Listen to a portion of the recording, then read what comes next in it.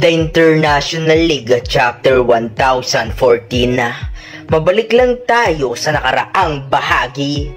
Dito nga ay talagang pinakita nga ni Sakuragi at nitong si Miyagi ang kanilang koneksyon.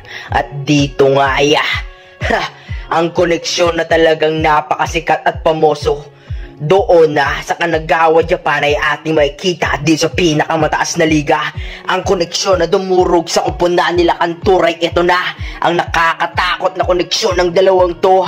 Sigawan nga ng mga tagahanga nila samantalang sa kabilang panig nga yan. Hindi talaga basta-basta tong point guard na to. Hindi siya gaya ni Kantor na point guard na talagang umi-score ng napakarami at talagang dudurugin ka sa ISO. Ito naman si Miyagi ibang iba. Bilang point guard ay napakagaling at napakahusay niya. Larong-laro niya ang role bilang point guard mahusay na katunggali. Wika nga nitong si Artis samantalang sa kabilang panig nga yan. Hawak-hawak na nga nitong si Kaiser ang bola. At dito nga sadyang tinitigan nga niya itong si Rukawa at nagwika nga. Rukawa, kahit na sang anggulo mo tignan, hindi mo kaya. Yan lamang babala na para sa iyo ang salitang hinding-hindi mo kayang tanggapin ngunit totoo. Wika ni Kaiser at dito nga ya. Ang dami mong dada, maglaro ka na lang ng aayon sa laro. Dami po mang sinasabi, hindi naman yan magkakatotoo. Magkakasubukan ng husit, magkakasubukan ng galing, sikit ilabas mo ang iyong kartada. Wika nito nga, si Rokawa ng walang ano-ano ya.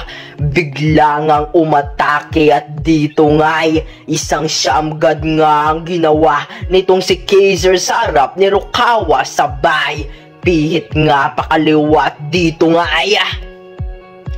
Grabe, grabe, ang ganda ng siyamgad niya.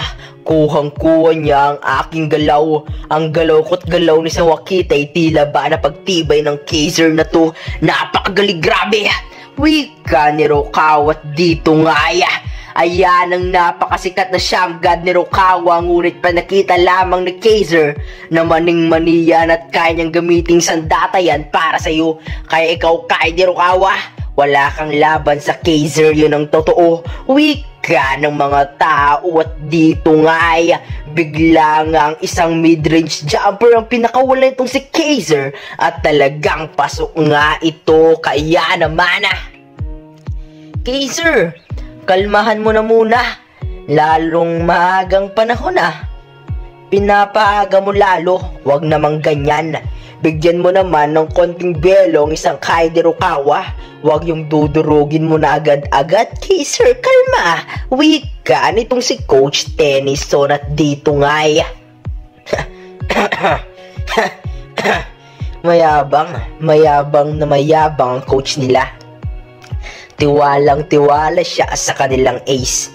Ngunit kahit ganun pa man din, kung gaano kalaki ang tiwala mo sa inyong ace, mas malaki ang tiwala ko kay Kaide Rokawa. Tandaan nyo yan. Wika nitong si Coach Ansay samantalang dito nga ya. Hindi ko pa nakikita dati ang laruan ng Kaiser na yan. Ikaw, Sendo, maaari ba kitang tanungin? Kung ikumpara mo ang lakas nilang dalawa ay magkalayo ba o magkalapit lamang at kung sino ang mas magaling sa kanila. Isang Rukawa nga ba o isang Kaiser? Gusto kong masagot yan mismong galing sa pinsan ng isang Yellow Hair Assassin. Wika ni Maakit dito nga ya. Kung akong tatanungin na, batay nga sa aking nasaksihan na huset galing ng Kaiser na to at kumpara kay Rukawa. Lamang na lamang si Kaiser dyan.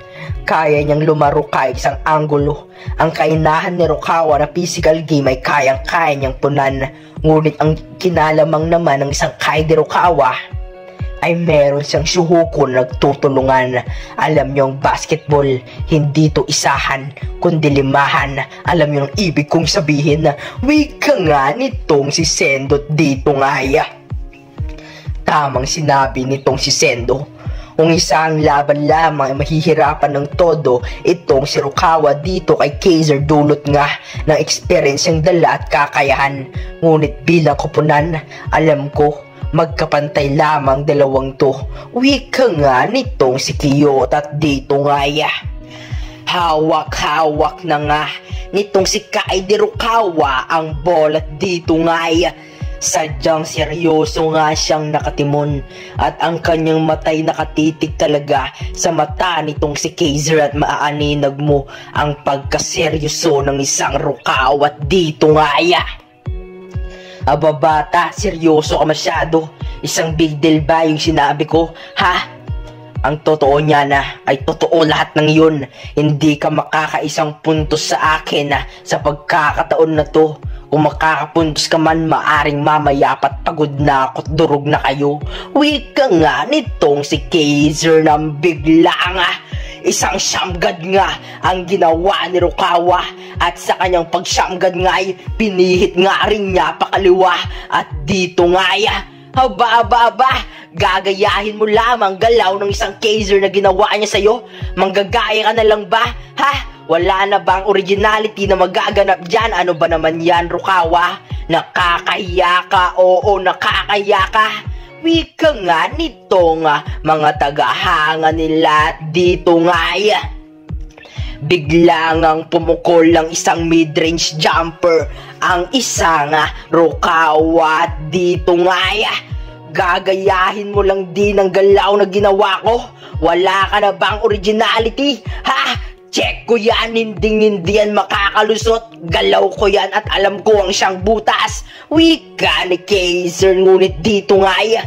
Yun ang inaakala mo sapagkat ikay naglalaro bilang ace at scoring machine. Ako'y naglalaro bilang ah, role ng kupunan na to.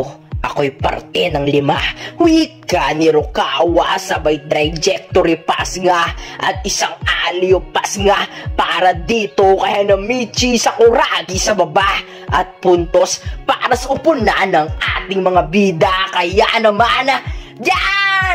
Yan nakakatakot ang upunan ng Shoku. Tama nga ang sinabi nyo. Ito ang nakakatakot sa kanila ang kakayahan nilang magtrabaho bilang kupunan at hindi lamang isang atake o ano, gulat kayo no?